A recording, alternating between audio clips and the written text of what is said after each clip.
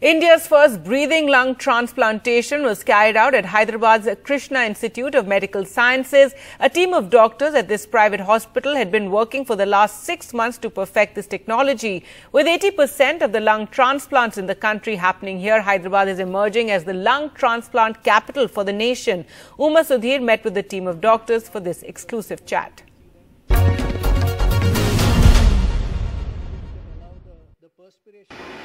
India's first breathing lung transplant here at Hyderabad's Krishna Institute of Medical Sciences. I have with me the team of doctors who's in fact uh, managed to do this today. Dr. Sandeep Attawar, uh, tell us, uh, first of all, congratulations for having achieved this for India and for India's first patient doing a live uh, lung. What is the difference? What happens in this case? Thank you. Uh, so uh, essentially what we do in a breathing lung is we, we explant the organ from a donor bring it down to the center where we conduct something called organ reconditioning and this is normally done simply because most lungs that appear uh, in, uh, in uh, donated organs have a small degree of dysfunction largely caused by fluid accumulation in the lungs.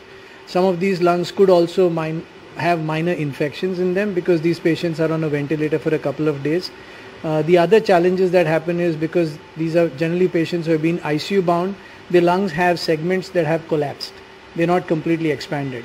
So if you look at it worldwide, out of the 10 organs that are uh, donated, 10 lungs that are donated, maybe 4 or 5 of them can be used. The others are wasted. The number of patients waiting for lung transplantation is enormous. So as many donations as you have and as many lungs that are optimized and available for, for these patients who are suffering from end-stage lung disease, the better it would be. So while we could use 4 or 5 lungs Uh, easily out of these 10. Unfortunately, the other 4 or 5 generally are not usable simply because of logistics, because it's a distant donation, or it could be because of the factors that I just mentioned, extra water in the lung, maybe a little bit of infection, and some areas of collapse of the lung, which does not allow the lung to function like a normal one. What this machine does is, once you put the lung on the machine, you run a nutrient solution which has uh, a high degree of antibiotics that... We are actually inside the operation table and you are telling me, uh, operation theatre, and you are telling me that this is a machine that actually does it, where you have all these tubes connecting the different uh, things. Tell us what it is about. So this is the organ reconditioning box. It's, it's made of perspex and it is, uh, it is uh, hermetically sealed. What it does, it allows through certain ports, you can see them, tubes going in, tubes going out. And there are a couple of things that allow the, the perspiration from the lung to then go back into the organ care system. Once all of this is circulated through the organ, small amounts of blood clots are washed out. Uh, areas of the lung that have not been ventilated adequately are expanded using the ventilator. Antibiotics are administered. All throughout the team of anesthesiologists, surgeons, uh, perfusionists would be, are expanded using the ventilator. Antibiotics are administered.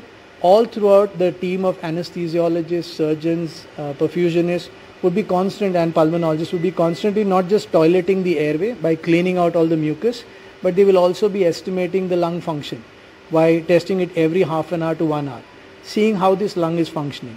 We also have measures to weigh the organ before and after the treatment that tells us the amount of fluid that has been removed from the lung. And so it, as I understand it, any organ has a particular shelf life and this is able to enhance that. Yes, not just enhancing the organ but prolonging the shelf life. So suppose you have a transport time of 4 hours from a remote location.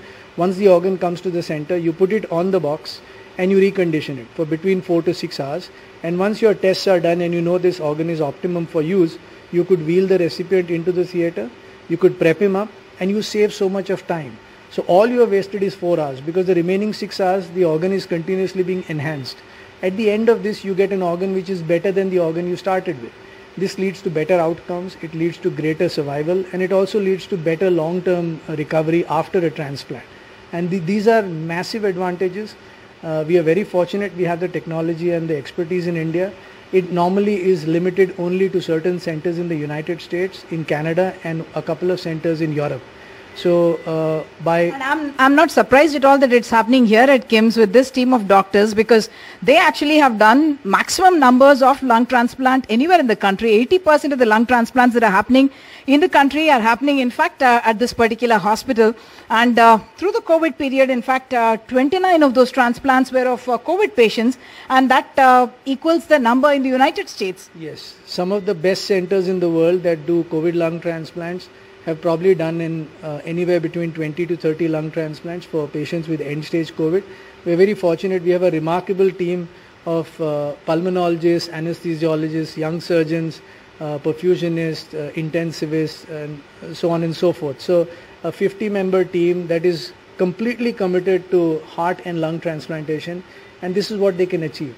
So it is Obviously, the expenses with something like this go up, but saving an organ is invaluable. Tell us about the cost. Yes. So uh, if we if we look at enhancing the organ, yes, unfortunately it comes with a price. But the the good point that I that we always believe is uh, if if there's an organ available in Delhi and that organ has to be utilized for somebody in in a southern city or or maybe in Hyderabad, the logistics of travel itself sometimes because of inconvenience uh, and unavailability of flights, you have to charter a flight, which would cost anywhere between 8 to 12 lakhs rupees.